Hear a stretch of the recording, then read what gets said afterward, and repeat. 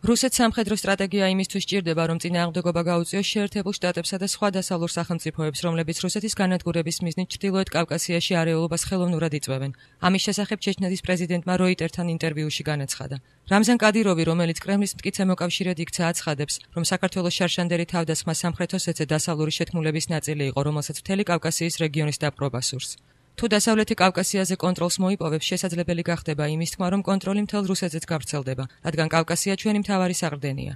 ჩვენ ზე სახელმწიფო ვართ, გვაქვს ყველაფერი, არმია, ტექნიკა, მაგრამ სტრატეგია გვჭირდება. რუსეთი შეტევაზე უნდა გადავიდეს, ამბობს კადიროვი. მისი თქმით, ინგუშეთში, დაღესტანსა და ჩეჩნეთში რუსეთმა წელს უამრავი ტერორისტი გაანადგურა. დარჩენილი ბოევიკები კი მოქმედებას დასავლეთის ფულისა და იარაღის წყალობით განაგრძობენ. ჩვენ ძალიან ძლიერი მსოფლიო მასშტაბის პოლიტიკოსი ვლადიმერ ვლადიმერის ზეპუტინი ყავს. მსოფლიო არენაზე მას ბადალი არ ყავს და ვაშინგტონისთვის უკეთესი იქნება თუ რუსეთთან უფრო მეგობრულ პოლიტიკას აწარმოებს. დასწინა ჩეჩნეთის პრეზიდენტმა.